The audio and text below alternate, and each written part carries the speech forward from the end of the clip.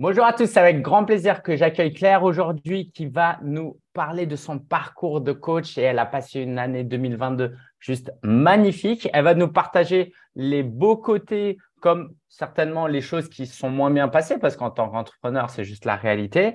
Et juste avant que Claire se présente et rentre dans le vif du sujet, Claire a fait un post et je trouve ça génial parce que ça me donne trop envie de faire la même chose où elle a listé tous ses accomplissements de l'année. Donc, je vais vous en donner quelques-uns Juste pour vous situer, Claire, elle a organisé deux sommets avec euh, deux sommets virtuels avec 1500 inscrites en moyenne. Elle a organisé deux challenges. Elle a lancé euh, son magazine en ligne. Euh, elle a fait 317 posts LinkedIn. Elle a accompagné 24 clientes en coaching. en tout, elle a fait des centaines de sessions de coaching en plus. tu as lancé une chaîne YouTube avec plus de 680 abonnés maintenant. Euh, des vidéos, 250 newsletters envoyés, 2000 personnes dans ta liste d'emails, euh, un groupe de paroles. Waouh, déjà, euh, sans fausse modestie, Claire, est-ce que tu es fier, à quel point tu es fier de ce que tu as accompli? Tu, en es fier, je le sais, mais est-ce que tu veux nous le partager? Ouais, mais c'est juste, ça, a juste été une, une année simplement énorme en fait, une année tellement magique pour moi, tellement motivante, avec euh, énormément d'énergie, de comment dire, de d'idées, de créativité, que en fait, euh, bah, fallait presque m'arrêter, quoi. En fait, euh, c'était voilà, donc ouais, en fait pour pour me présenter un petit peu, donc bah, Qu'est-ce qui s'est passé? Moi, en fait, j'ai fait un burn-out. Forcément, je suis pas venue euh, comme coach en burn-out euh, par euh, par hasard. En fait, j'ai fait un burn-out il, y a quatre ans maintenant, et voilà, j'ai connu le coaching grâce à ce burn-out. J'ai eu un coup de cœur pour le métier. Je me suis donc reconvertie, voilà. Et et l'année donc 2022 était vraiment la première année de, de lancement. et tout de suite, j'ai eu envie de faire fort. Voilà. j'ai eu envie bah, grâce à toi aussi, euh, j'avoue, hein, euh, lors de d'un de, de, tes sommets, il y a quelqu'un euh, qui a dit, c'est Mathéo d'ailleurs, je m'en rappelle, qui, qui a dit Ah, mais moi, si c'était à refaire, je commencerais très fort, très vite, je ferai un sommet. Et en fait, j'ai été inspirée par ce, par cette, euh, cette phrase. Donc, euh, j'ai commencé euh, très vite à, à, me focaliser à, sur, sur l'organisation d'un sommet qui a eu lieu dès le début janvier. Donc, ça a commencé assez fort. Voilà ah, comment a débuté mon année. Ouais. Merci pour ce partage, Claire. Donc aujourd'hui, pour situer, tu es spécialisée en burn-out féminin. Est-ce que tu veux nous en dire un peu plus déjà sur ce que c'est qu'un coach en burn-out féminin avant d'attaquer la suite Oui, complètement en burn-out féminin. Alors moi, je dirais que c'est très clair. En fait, euh, je, mes clientes, elles ont basculé dans le burn-out. Euh, vraiment, il y a euh, l'avant et le jour de l'impact, je dirais. Et là, elles sont clouées au lit. elles sont, voilà, elles ont des difficultés à, à, retrouver de l'énergie, euh, une perte totale de confiance en soi et euh, complètement perdu euh, au niveau de l'éclairage professionnel. Ça hante d'ailleurs leur nuit, en tout cas. et en fait, moi, je, pourquoi je dis que c'est très clair? Parce que je vais pas non plus dans le champ de la prévention, tu vois, du burn-out. J'aurais pu, et ça, au début, ça a été du tâtonnement. Hein, début, voilà, je dirais que début janvier, en tout cas, j'étais à me dire ouais, je vais faire de la prévention en entreprise, je vais faire de la prévention auprès de personnes qui sont dans le stress. Et euh, très vite, je me suis aperçue que j'avais, voilà, je me sentais pas euh, capable entre guillemets euh, de les aider à, à, à, se transformer vraiment. et la plus grosse transformation pour moi, c'était de les aider après ce jour de l'impact. Donc ça a été très vite en fait de de, de, de trouver ma ma cible entre guillemets claire et nette. Voilà. Et donc, en quoi ça, en quoi ça consiste Eh bien, c'est vraiment justement euh, euh, de les aider en fait euh, bah, à se sortir de ce marasme, hein, de ce tsunami qui leur arrive et où elles perdent complètement pied, elles savent plus comment avancer et sortir de, de cette situation. Ouais. Ok. En, en, quoi ton travail est différent, complémentaire, supplémentaire à un travail de psychologue et, et vraiment, euh, juste qu'on prenne ça avec des pincettes. Ce que Claire partage, c'est ta propre expérience et ton point de vue. Donc, euh, s'il y a des gens qui vivent un burn-out, évidemment, prenais ça comme un partage d'expérience, mais je trouve ça quand même intéressant que tu nous partages euh, ton point de vue, en quoi le coaching est important selon toi dans cette situation. Mmh. Alors, c'est important et, je pense qu'il y a une complémentarité, en fait. C'est-à-dire qu'on ne fait pas le même travail. Un psychologue, en fait, euh, on va dire, va aller euh, fouiller dans tes blessures, hein, dans ton passé, euh, beaucoup plus triturer, en tout cas, ce qui t'a amené à, tomber en burn-out. Moi, je vais mon filtre d'attention, en tout cas, va être sur le futur et comment se sortir, euh, voilà, de, ça. Et on va pas venir travailler trop justement euh, sur le passé. Bien sûr qu'on va y jeter un petit coup d'œil, mais en fait, on va pas se focaliser en fait sur les événements du passé. On va vraiment se concentrer sur des, solutions euh, que voilà, je que je fais amener en tout cas à la, à la cliente de, de, de, se trouver des solutions, des petits pas pour avancer et pour se sortir de là en fait et avoir euh, un futur. Et pour ce pour le coup hein, c'est concevoir sa nouvelle vie euh, justement euh, épanouie et sereine et euh, ne plus passer par ses anciens fonctionnements. Voilà ce qu'on vient travailler. Donc on n'est pas du tout sur le même la même échelle de temps déjà et on n'a pas du tout non plus la même méthodologie. Le coaching en fait, eh bien justement ça aide à, à sortir de ces séances avec des solutions concrètes. Voilà super, merci pour ce partage. effectivement, je pense que c'est important de le rappeler. C'est-à-dire que je ne veux pas faire de généralité parce que chaque cas est unique, mais souvent on peut avoir cette perception de si je suis blessé, j'ai un problème, il faut d'abord que je guérisse. Et après avoir terminé ce parcours-là, on va voir la suite. Mais en fait, euh, non, on peut faire deux travaux en même temps. Et parfois, c'est même euh, beaucoup plus intéressant de faire euh, euh, ce, travail en même temps. Et d'ailleurs, ça marche dans les deux sens. Hein. Si vous êtes coaché, rien ne vous empêche aussi de vous faire suivre en, thérapie en même temps. Tout à fait, et c'est même euh, recommandé. Hein. C'est vraiment en parallèle que ça, que ça peut se passer. On a, comme tu mm. dis, on a tendance à, croire que, bon, allez, on va d'abord aller euh, voir le, corps médical. Et oui, c'est important de le faire, mais en tout cas, on n'est pas obligé d'attendre des lustres avant de, commencer du coaching, en tout cas. Voilà. OK. Alors, Claire, euh, ce qu'on peut dire, c'est que tu as un business à, 5 chiffres, hein, ok, avec euh, les 24 clients que tu as accompagnés l'année dernière. Moi, j'ai envie de te poser cette question et je t'invite vraiment à rentrer dans le vif du sujet et à pas faire preuve de fausse humilité parce que les gens sont là pour progresser, pour avancer, pour apprendre. Qu'est-ce qui fait que tu as fait une si belle année? Parce que euh, mon métier, c'est d'accompagner les coachs et je vois très bien que ce n'est pas le cas de tous les coachs. Quels sont tes ingrédients que d'autres n'auraient pas et qui, en t'écoutant, pourraient se dire Ah, ok, peut-être qu'il faut que je travaille ça. Quel est ton secret, vraiment, ou tes secrets qui ont fait que tu as eu cette croissance aussi rapide? Alors, petit 1, euh, énergie. Ça, c'est capital. Et pourtant, je sortais d'une période moi-même, tu vois, avec une baisse d'énergie. Donc, je pense que déjà, il faut être euh, bien dans sa tête au niveau euh, énergie et confiance en soi. petit 2, je dirais que il faut pas euh, tergiverser 15 000 ans, c'est-à-dire de passer à l'action euh, rapidement. Euh, je pense à ça, notamment, voilà, on a travaillé ensemble tous les deux et à un moment donné, j'ai organisé un challenge. Je me suis pas posé la question. En fait, je me suis pas dit, mais c'est dans trois mois que je veux l'organiser. C'est maintenant, en mmh. fait, que j'ai envie de l'organiser. Et avec cette énergie, cette boule d'énergie, par contre, c'est une priorité à la fois. Je vais jusqu'au bout de mes événements j'y vais à fond, mais je sais que ça a une date de fin, eh bien, euh, voilà, on peut en organiser un, l'énergie descend derrière, mais en tout cas, on reprend un nouveau projet. Moi, je suis, suis quelqu'un, en fait, euh, euh, de projet. Voilà, je, je l'étais déjà avant dans mon ancienne vie. Je pense que en fait c'est ça. Donc sur des courtes durées, c'est un petit peu en mode défi. Hop là, moi ça marche énormément. Donc euh, je suis au taquet, euh, mais voilà, je pense que il y a de ça.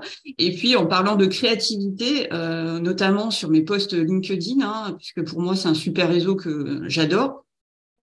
Eh bien, dès que j'ai une idée derrière la tête, voilà, un sujet qui me vient, j'écris dessus, j'envoie. je suis pas à faire de la planification, en tout cas de mon emploi du temps euh, éditorial, on va dire. Ça, j'y arrive pas. Euh, pourtant, on me le dit. Je devrais, je devrais le faire un peu plus. Je m'écoute beaucoup. Mais moi, c'est au sujet. Donc, je vis, en tout cas, euh, ce, que, ce que je crée, je l'envoie tout de suite parce que j'ai envie d'avoir tout de suite un, un, retour et de savoir euh, bah, si, si ça fonctionne et si ça, si ça parle. Donc, c'est un point important pour moi. C'est vraiment de passer à l'action et d'y aller. Ok, avant de voir euh, d'autres ingrédients, parce que tu as d'autres ingrédients, euh, j'aime beaucoup le je m'écoute. Euh, est-ce que tu n'as pas eu des, peurs qui t'empêchaient de t'écouter? Parce qu'en fait, on a tous envie de s'écouter et faire vraiment tout ce qu'on a envie. Qu'est-ce qui nous empêche? C'est les peurs. Quelles étaient tes peurs, toi, et comment tu les as affrontées? Ouais, mes peurs, en fait, euh, concrètement, par, rapport à ce que j'ai connu, mes peurs, c'est de, c'est de rebasculer dans une charge mentale euh, énorme, en fait, euh, d'en avoir trop, d'avoir une to-do list à rallonge. Euh, et donc, c'est pour ça qu'en évacuant les sujets un l'un après l'autre, en tout cas, euh, ben moi, je vais jusqu'au bout de, ça. Donc, déjà, ça, me règle des, des, histoires de charge mentale. Et puis, voilà, ma, peur aussi, euh, euh, c'est euh, d'avoir un sommeil de mauvaise qualité, tu vois, vraiment. Donc, parce que ça, ça pourrit vraiment la vie, en fait, dès lors qu'on tombe dans un sommeil de mauvaise qualité, qu'on a le moral dans les chaussettes. Moi, je vois bien que je suis en perte d'énergie, quand je suis en perte d'énergie totale, j'ai plus de créativité, c'est mon indicateur. Donc, donc, euh, partant de là, en fait, je me, enfin, ça pourrit tout, en fait. Donc, euh, c'est pour ça que je, je, me soigne aussi en, en, ayant des, des, ressources extérieures, tu vois, en allant prendre l'air, en, en, faisant des pauses, en étant très focus sur une période de temps très euh, très courte, mais optimale, d'aller tout de suite à l'essentiel. Pour moi, ça c'est très important pour justement aller jusqu'au bout des choses et, et éviter toutes ces peurs, en fait. Ouais. Et tu n'avais pas des peurs, euh, du coup, c'est intéressant parce que c'est des peurs aussi liées au burn-out que tu avais vécu. Hein.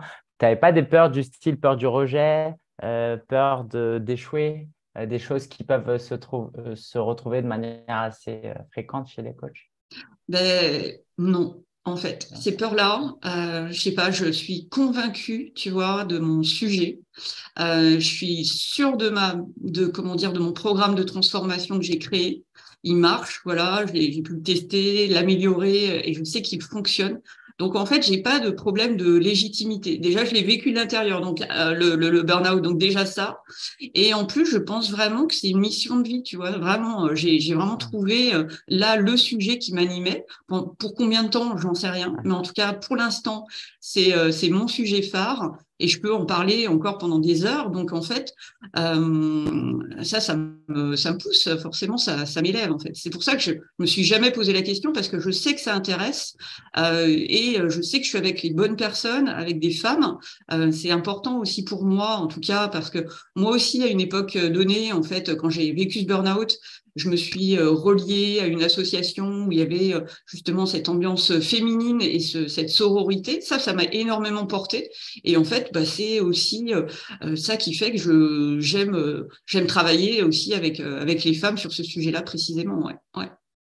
Ok, c'est beau. En tout cas, merci pour ce message. Effectivement, on a tous des peurs. En réalité, c'est juste que relativement à la taille de ta mission de vie et de la mission de ton entreprise, ça faisait pas le poids. Et ouais, merci beaucoup pour, pour ça. Je retiens aussi que tu as amélioré en continu, que tu as testé des choses. Et ça, beaucoup de coachs veulent les choses parfaites avant de se lancer. Ton offre, tu l'as définie en améliorant, tu as testé et c'est ça qui t'a donné confiance. Mmh. Tandis que beaucoup de coachs qui nous écoutent sont en mode j'attends que mon offre sur le papier est parfaite et quand j'aurai confiance que sur le papier est parfaite, j'y vais. Oui, mais en fait, euh, on se met une pression et on n'y va jamais. Et, toi, tu as accepté l'imperfection et d'y aller étape par étape. Est-ce que je résume bien? Oui, tout à fait. Tout à fait. Parle-moi un peu de ton, ton mindset. C'est, dans ton poste, c'est ça que tu mets aussi, que tu as un mindset positif. Euh, donc, dans l'idée de ce que tu as déjà partagé, ça veut dire quoi? Ah ben, J'ai un mindset euh, de, très optimiste. Voilà. Je, mmh. je pense que déjà, j'ai toujours été comme ça. Déjà, je pense que c'est ma particularité. Et euh, vraiment, je, je, je, cultive ça, tu vois. Par exemple, euh, j'ai un grand sens de l'émerveillement, c'est-à-dire que vraiment, euh, j'adore mon jardin, j'adore mon, mon, chat, j'adore ma famille. Euh, je sais relever chez les gens, tu vois, le côté positif aussi. J'arrive, j'ai, j'ai, j'ai un mal fou à mettre en avant des choses négatives, tu vois, ça fait pas partie de moi en fait. Dans mon langage, je suis, ouais, je suis ultra positive, donc et donc forcément, bah, ce mindset. Euh, il est là, il est, il est présent. Après, je dis pas que j'ai pas des yo-yo euh, quand même euh, parfois, hein, mais justement, en fait, j'ai remarqué que un manque de sommeil, des, des, petites choses ou des événements extérieurs hein, dans ma vie de famille ou des choses comme ça qui peuvent m'atteindre. Là, par contre, ça te plombe. Mais tu sais que c'est transitoire. Voilà, je suis vraiment de par le burn-out aussi. Je sais que on a un yo-yo d'énergie, d'émotion, et que c'est une vague qui va passer. Donc, euh, cette vague, elle peut euh, prendre entre 24 heures et une semaine, voilà, mais euh, rarement plus, en fait. Donc, même si j'ai des baisses d'énergie, j'ai des baisses de, voilà, de morale, de, de, de, tout ça, je sais fondamentalement que ça va passer chez moi. Ok.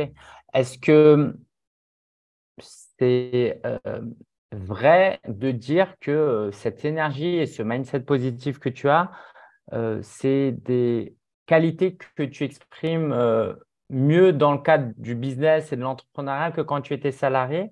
Ou est-ce que quand tu étais salarié, c'était déjà euh, pareil, mais comme tu as vécu un burn-out, je... ouais. Ouais, c'était déjà présent parce que en fait, je pense quand même que euh, mon fil conducteur, ça a toujours été justement d'être dans un mindset positif et d'optimisme. Et donc, ça m'a toujours accompagné.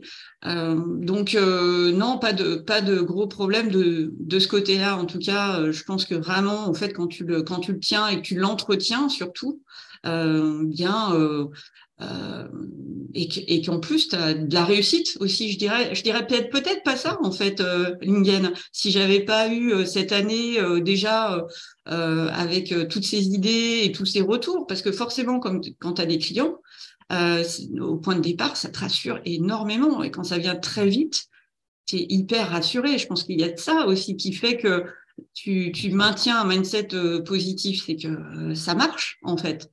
Ça marche. Cool, super. D'où euh, l'importance d'y aller euh, parce que c'est vrai que quelquefois, plus on réfléchit dans notre coin et en fait, plus on, est découragé, alors que quand on est dans l'action, on peut aussi voir les, mmh. résultats. Euh, bah, en parlant d'action, dans ton poste, tu as cité cinq points. Le troisième point, c'est que tu es une testeuse invétérée. Tu en as déjà parlé. C'est que tu as une idée, tu la mets en place. Est-ce que comment tu pourrais tourner ça en, en conseil que tu pourrais partager à ceux qui ceux et celles qui nous écoutent, cette idée de d'y aller et de ne pas chercher la perfection hmm. bah, Je pense que c'est un point euh, important parce que plus. Après je, ne dis pas que je travaille pas tu vois via des cartes mentales mais tout de suite euh, une fois que j'ai l'idée euh, j'y vais vite fait. Alors déjà, je laisse quand même passer une nuit. Attention, je laisse déjà passer une nuit, à part pour des postes que j'ai envie d'écrire, etc. Là, c'est j'y vais. Après, pour des gros sujets, euh, tu vois, là, je réfléchis quand même à deux fois de me dire euh, si je suis déjà un peu avec, beaucoup de travail, je me dis là, je vais me mettre une balle dans le pied. Mmh. tu vas pas faire ça. Mais euh, ouais, vraiment euh, de, de, tester, c'est la. Je pense que c'est. Euh, et puis et puis mince, qu'est-ce qui va se passer si ça marche pas En fait, c'est c'est pas grave. En fait, mmh, qu'est-ce mmh. qui parce que dans tous les cas de figure, si ça marche pas, je le prends comme un apprentissage. Donc je, je vais toujours récolter des choses et pour un, un, futur lancement, pour un pour une future offre, voilà. Donc tout est tout est bon en fait. Super. Euh, tu as toujours été euh, très marketeuse, vendeuse. C'est quelque chose. Quand on t'écoute comme ça, on se dit c'est naturel, tu as été entrepreneur depuis 10 ans. quoi. Est-ce que ça a toujours été là? Alors absolument pas, là tu mets le doigt dessus. Euh, là, là par contre, j'ai dû me faire accompagner euh, par toi, en, tout cas à Lingen, parce que en, ce début d'année 2022, moi je savais pas ce que c'était que le, marketing et surtout pas ce que c'était la vente en fait la vente, vraiment de, vendre un, programme, euh, voilà, assez onéreux. Surtout, je m'adresse à des femmes qui sont en train de euh, d'avoir un bouleversement au niveau de leur vie, qui se demandent si demain elles vont travailler. demain, elles, vont peut-être se retrouver au chômage. Donc, pour moi, c'était, ça n'a pas été simple du tout. J'y suis allée là encore assez petit à petit sur la, question de la vente. Pas très habile au départ, et puis ne serait-ce que pour fixer mon offre, voilà le prix de mon offre. Euh, en tout cas, au début, j'ai commencé, euh, je dirais, un peu râler pâquerette, mais à chaque fois, j'augmentais, etc. Et, ça passait. Donc ça aussi, ça me met en confiance. Je pense que tout de suite, si je m'étais mis la barre trop haute et que je croyais pas en, mon offre, euh, enfin, ça, n'aurait pas fonctionné tout ça. Donc j'avais vraiment besoin d'être rassurée sur ce sur ce point-là. voilà comment je, pourrais te, répondre. Ok, cool. Euh, merci pour ce partage. Tu as aussi euh, indiqué que... Euh, bon, je me permets de, partager un truc. C'est vrai que ce que j'ai beaucoup aimé dans notre collaboration, hein, quand on a travaillé ensemble, c'est que, comme tout le monde, il y a des trucs, je le sentais bien, ouais, tu n'étais pas forcément d'accord ou tu résistais, mais ça t'empêchait pas de tester et d'y aller et tu étais vraiment ouverte à tester des choses. Et ça, je trouve ça euh, formidable parce que souvent, ce qui est difficile, c'est qu'on arrive dans le business avec des idées préconçues qu'on ne qu'on va pas challenger. Et euh, voilà, moi, toutes les fois où je t'ai vu euh, te challenger, revenir semaine après semaine, dire Ouais, bah, j'ai fait ci, je fais ça, on était tous euh, très étonnés de, de, de, ton avancement. Et c'est la marque que je retrouve chez tous nos clients qui ont eu des résultats assez rapidement. C'est ouais, cette idée de, y aller. Donc, c'est ton quatrième point. Hein, tu parlais d'aller à l'essentiel en un minimum de temps. on en a déjà parlé. Est-ce que tu veux planter une dernière fois le clou Ouais, euh, mais moi, pour moi, c'est, euh, c'est vraiment super important. Euh, en fait, je dirais que quand tu sors d'un burn-out, tu as des problèmes de concentration. Voilà, je les ai toujours, ces problèmes de concentration. Donc, tu es obligé d'être focus. On ne donne pas le choix de travailler 8 heures par jour. Là, c'est fini ce temps-là, en fait. C'est que tu as une concentration réduite et optimale de 3-4 heures par jour. Donc, moi, partant de là, je me suis dit, bah, non, je peux plus me poser de questions. En fait, je ne peux pas tourner et passer un temps fou sur un dossier. Euh, euh, non, tu, vas, euh, à l'essentiel, tu testes. En plus, c'est facile de tester. donc, je ne suis pas posé 15 000 questions. Ce qui est important pour moi, ce qu'on n'a pas trop parlé, on, a, parlé de ton, accompagnement. Ce qui est très riche pour moi, c'est toujours d'être en, en formation. J'adore être formée. Euh, mais euh, j'adore être formée, mais tout de suite, moi, je peux pas utiliser. Euh, enfin, je, peux regarder des tas de, formations, mais en tout cas, j'ai toujours besoin de mettre ça en place dardard. Je vais te donner un exemple. En fait, un jour, je ne sais pas si c'était toi ou quelqu'un d'autre, a dit ben, c'est bien de se faire peut-être un petit comité de direction de soi-même avec soi-même. Tout de suite, je l'ai mis en place parce que j'ai trouvé l'idée, euh, bon déjà pour avoir été dans des, des comités de direction avant, euh, j'aimais, j'aimais bien ça, vraiment. Donc, euh, mais là j'ai trouvé l'idée super et tout de suite je l'ai implanté aussi. pour le coup, tous les trois mois en fait, je me fais mon propre comité de direction avec ma directrice marketing, moi-même, ma directrice des ventes et mon directeur financier en l'occurrence moi-même. Voilà. Et donc euh, ça, c'est important aussi euh, de prendre de la, de la hauteur et, euh, et surtout d'avoir le meilleur de, des formations et tout de suite aussi de le mettre, le mettre en place toujours. Bah, merci pour ce partage. C'est une parfaite transition pour le dernier point que tu avais cité, c'est que tu as été beaucoup inspiré auprès de mentors ces, ces derniers mois. Et dans ce poste, tu cites une dizaine de personnes d'ailleurs. en tout cas, derrière un mentor, je ne sais pas ce que tu entends derrière, mais euh, tu aimes bien te former et derrière ça, ce que j'entends, ce que je lis de ce que tu as écrit, c'est que tu aimes bien être inspiré par l'énergie des gens, l'histoire des gens, les pratiques des gens. Est-ce que tu vas en parler un peu plus ça parce que c'est finalement un don qui est très naturel chez toi, mais qui ne l'est pas forcément chez tout le monde, c'est ta capacité à, ouais, à t'inspirer vraiment euh, des autres, en fait. Est-ce que tu vas en, parler un peu? Ouais, je pense que c'est important déjà d'avoir des mentors qui sont passés par là. Euh, pour, euh, bah, pour te donner des bonnes infos, hein, le, comité de direction, toi, tout ce que tu nous as appris aussi pendant, pendant Ascension. moi, ça m'élève d'un côté pour la mise en place, mais aussi, on parlait tout à l'heure de mindset positif. c'est une roue une route toujours en évolution. Et ça, en fait, ben, ben, c'est très chouette. Et puis en plus, les mentors que tu choisis, ils te ressemblent forcément. Euh, je pense notamment à toi, on a des valeurs famille tous les deux, en tout cas, qui sont très fortes. Et euh, je pense que les mentors que tu choisis, euh, tes personnes inspirantes, eh bien, elles sont solaires pour toi. Donc vraiment, c'est un engouement. et bah oui, j'adore ça. J'adore, j'adore découvrir de nouveaux mentors. Et dès que j'accroche, mais je viens boire tout ce qu'il y a à, boire et à manger en fait de, mon mentor parce que c'est inspirant. C'est inspirant.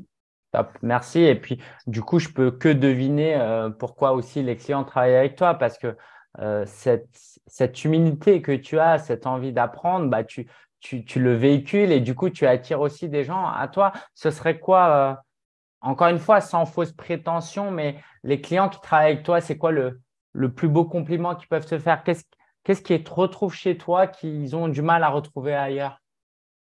Ben justement, en fait, c'est marrant que j'emploie ce mot de solaire en fait euh, auprès de mon tort parce que c'est souvent ce qu'on dit de moi en fait. Mmh. C'est souvent euh, mon sourire, euh, l'authenticité, la et ce côté solaire, ce côté coloré, aimer les couleurs de la vie, quoi, en fait. Donc c'est ça qu'on vient chercher, je pense, auprès de moi. C'est c'est de la bonne énergie, ouais, des good vibes. Mm. Génial, génial.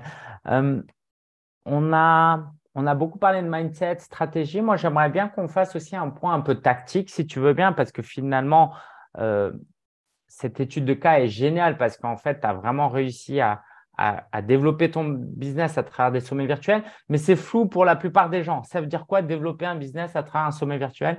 Est-ce que tu es disposé à en parler? En gros, euh, c'est quoi un sommet virtuel et comment tu arrives à attirer autant de monde à ces sommets virtuels? Et puis surtout, comment tu en fais des clients? C'est une chose d'avoir des participants, c'en est une autre d'avoir des clients. Est-ce que dans les grandes lignes, tu veux bien nous en parler? Ouais, un sommet virtuel. Alors moi, tel que je l'ai conçu, en tout cas euh, par rapport à, la problématique du burn-out, en tout cas, j'ai mêlé euh, justement des, euh, des experts complémentaires, vraiment sur le sujet du burn-out, c'est-à-dire toute la partie psychologique, en fait, en venant des psychiatres, psychologues, des écrivains, des thérapeutes, des médecines douces, parce que vraiment, autour de ce même sujet qui nous anime tous, voilà, ce même sujet, le burn-out, en tout cas, on peut être complémentaire. Donc déjà, pour moi, il n'y a pas euh, de, guerre de clocher, euh, d'église, en tout cas. C'est euh, vraiment ce sommet, pour moi, il est autour d'un sujet et il apporte énormément d'informations pour celles qui nous écoutent.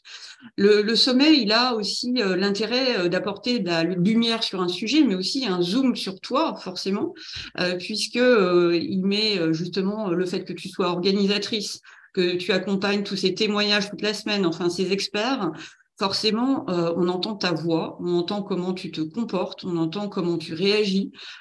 Euh, et ça, c'est super important pour que les gens euh, fassent connaissance. Et puis, et puis bah, derrière, en tout cas, si, si les gens te apprécient et s'ils te font confiance, bien justement, très naturellement, en fait, ils prennent rendez-vous avec toi et euh, on discute justement euh, du programme que je peux proposer derrière. Voilà, c'est une, attirance vers un événement au point de départ et après vers une personne et, et qui convertit. Voilà.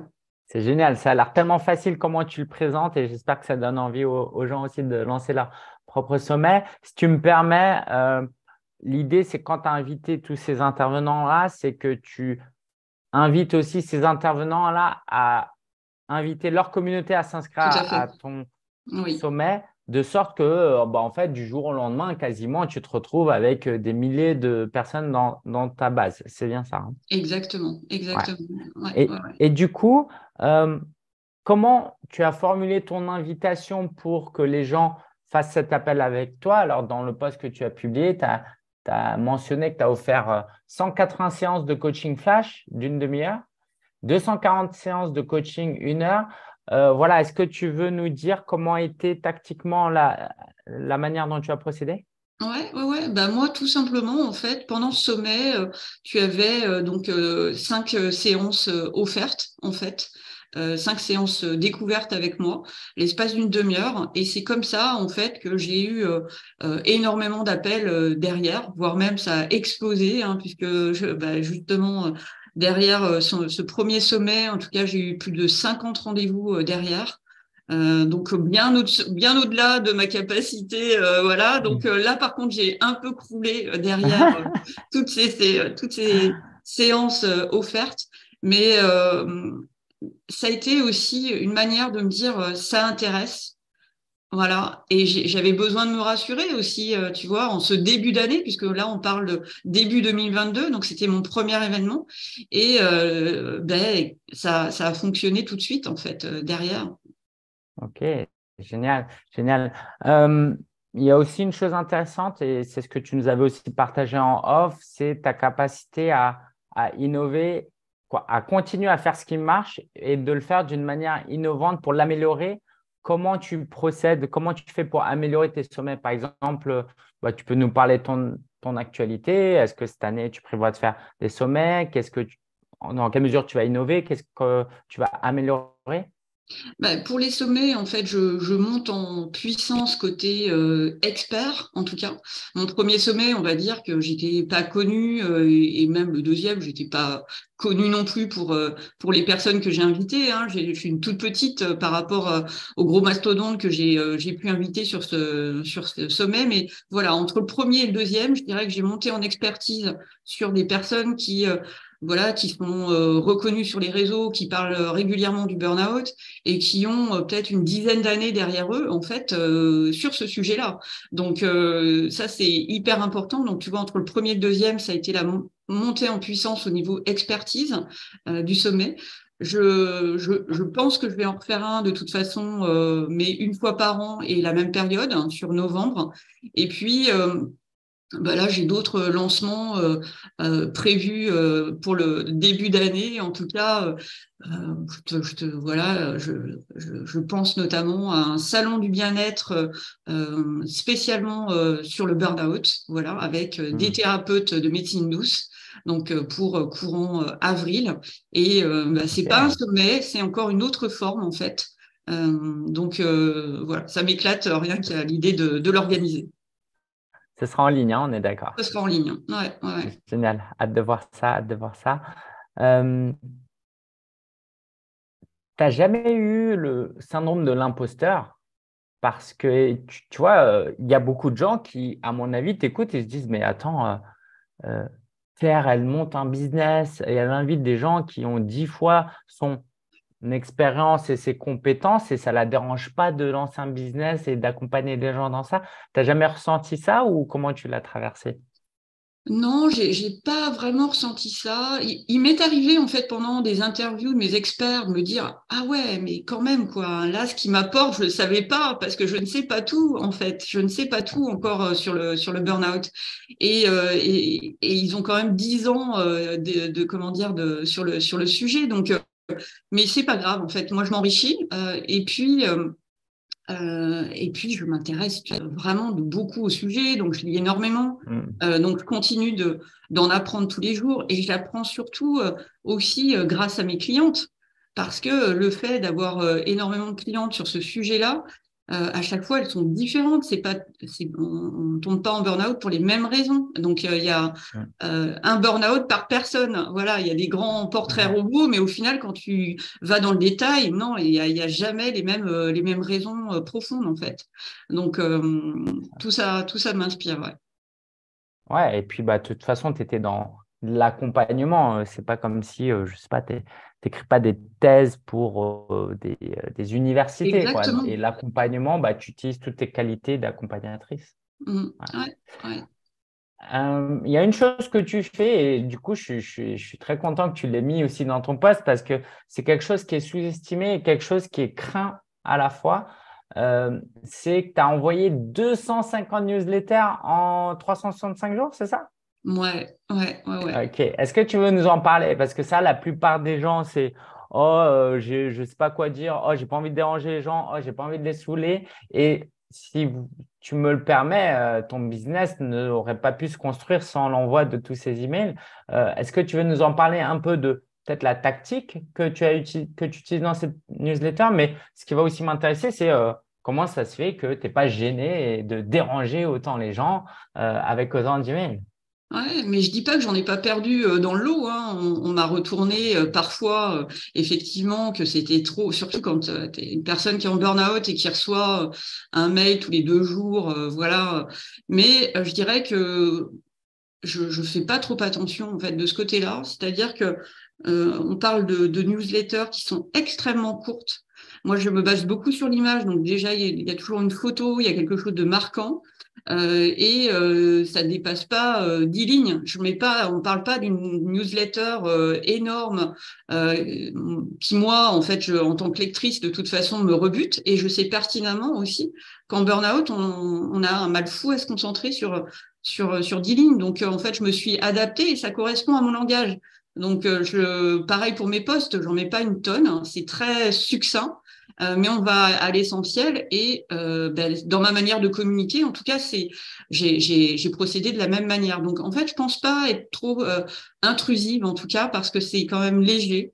Euh, voilà, c'est pas du, placard de, de, de, texte. Donc, je pense que en fait, d'un point de vue communication, euh, le message que j'aurais à passer, c'est d'être vraiment avec ses propres mots, déjà. Ça, tout le monde le sait, mais, euh, mais ne pas y passer euh, voilà, des, énormément d'heures. Et je pense que ce qui a joué aussi en ma faveur, c'est que j'adore la com. J'adore, euh, j'adore écrire.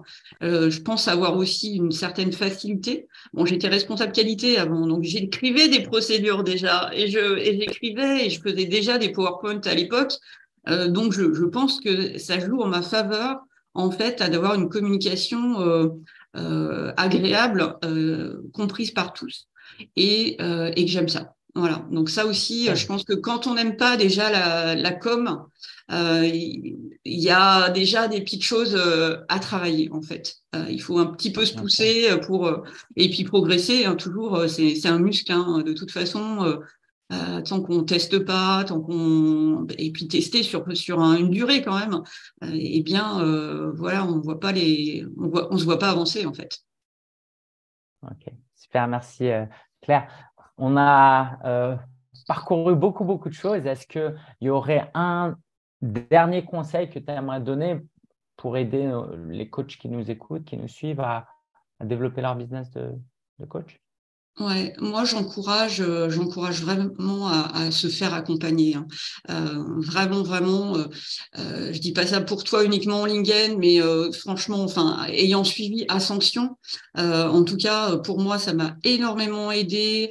on reste pas seul, donc je dirais comme tout. Et, et, en plus quand on est coach, je dirais que c'est un c'est une nécessité, c'est un devoir de se faire, euh, accompagner, euh, parce que euh, c'est comme ça que ça fonctionne. On, sait qu'en se faisant accompagner, on, a une transformation, on est tiré vers le haut. Donc voilà, faites-vous, accompagner si vous ne l'êtes pas encore.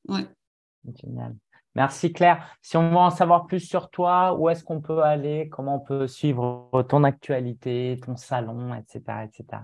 Ouais, bah mon, petit chouchou, mon réseau chouchou, c'est LinkedIn, donc Claire Jardin-Ménard, hein, tout, court. Et puis euh, j'ai aussi une chaîne euh, YouTube, euh, j'ai un Facebook, un Facebook avec une à mon nom, avec un, groupe privé spécialement pour les femmes en burn-out. Voilà quelques indices pour pour me retrouver, mais LinkedIn assurément. Ok, bon, on mettra le lien en description. le dernier mot, j'aimerais te le laisser, Claire. Juste avant, j'aimerais te remercier déjà pour ton temps, d'avoir partagé euh, toutes ces belles choses. C'était vraiment un, plaisir de, te connaître euh, ces, derniers mois, ces dernières années.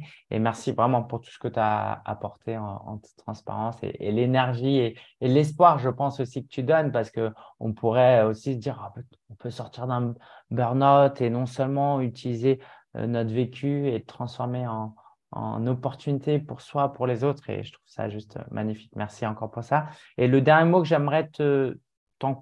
Quoi? Est-ce que tu veux bien partager un dernier mot au croisement de nos deux publics, si tu veux?